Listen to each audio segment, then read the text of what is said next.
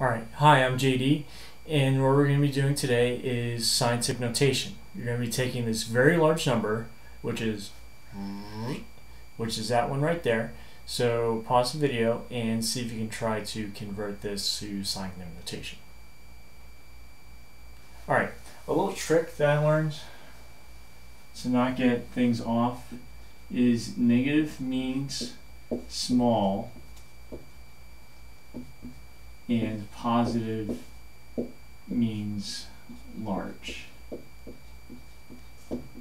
And so since this is a large number, that means the exponent has to be positive when I change it to scientific notation.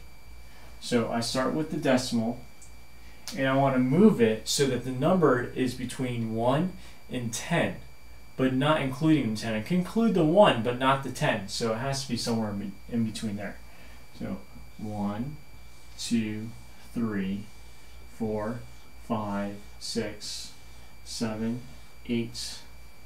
Now if I stop there, notice that would be 21.62, but it's not. So 8, 9, and I stop there. So that's 9. So two point one six two times ten is going to be a positive nine or a negative nine. Right, it's going to be a positive nine because it's a large number. And that is it.